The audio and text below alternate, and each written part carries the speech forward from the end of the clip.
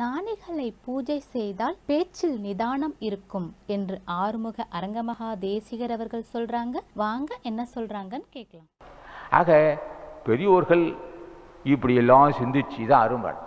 ஒவ்வொரு சமயத்திலும் ஒவ்வொரு நாளிலும் பேச்சால் வருகின்ற இடையூறுகள். பேசுகிறோம் பேசும்போது அவன் மனசு நொந்து போகும். பேச்சாலும் அல்லல் போடுவான். ஆஹா அப்படி பேசிட்டேமே என்ன கோபத்தை பேசிட்டேன்னா கோபத்தை பேசிட்டோமோ கோபத்தை பேசிட்டோம்னு சொல்லி தடுமாறிடுறாப்பான் பிறகு யாராவது மனசு நோக்க பேசிடுவான். பேசுனான் அப்படி பேசுனான் பேசுகிறான் பேசினா என்ன இப்போ நட்டம்? பேசிட்டு போகிறான் இந்த பேசிட்டு போகிறாங்கிற உணர்வு எப்போ வரும்னா அது திருவள்ளுவர் துணை இல்லாமல் வராது. இவனும் பேச மாட்டான். சிவர ஞானிகளை பூஜை செய்தால் பேச்சில் நிதானம் இருக்கும். பேசும்போது நிதானித்து பேச வேணும் உணர்ச்சி வசப்பட்டு பேசக்கூடாது. அப்படி ஒரு உணர்வு வரும். பூர்ணமாக வந்தால் தான் அந்த உணர்வு வரும். பேசுறது நிதானமாக பேசணும் இனிமையாக பேசணும். என்ற நினைவு பெரியவர்கள் ஆசை இல்லாமல் வராது. சரியா மட்டும் பேசிட்டான். பேசிட்டு போகிறோம் போடா.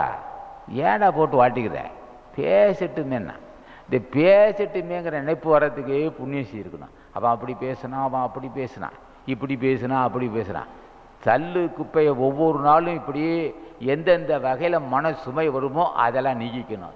இந்த அறிவு பூஜை செய்யாமல் முடியாது.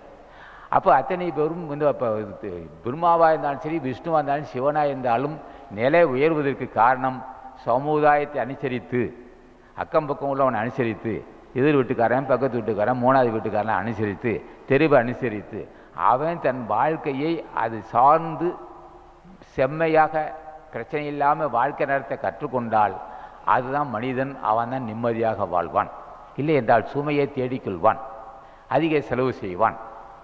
திரு துணை இல்லாதவன் அதிக செலவு செய்வான்.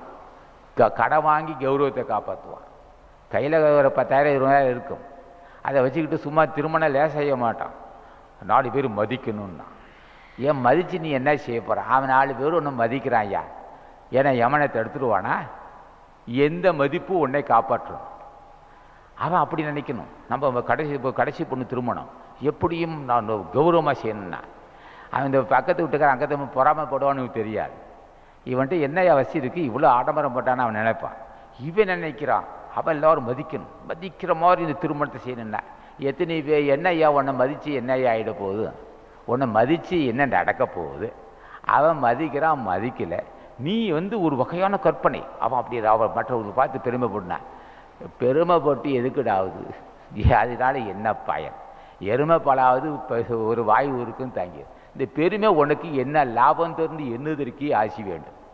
இந்த பெருமைனால் என்ன லாபம்? அப்படின்னு ஒரு ஆசி வேண்டும் ஆக இதெல்லாம் ஆசானுடைய ஆசி இல்லாமல் தேவையில்லாமல் கற்பனை செய்து தேவையில்லாமல் பெருமை இதெல்லாம் ஆசானது அருளுரைகளை தொடர்ந்து கேட்க அரங்கர் டிவிக்கு லைக் பண்ணுங்க சப்ஸ்கிரைப் பண்ணுங்க. மறக்காம பெல் பட்டனையும் கிளிக் பண்ணுங்க.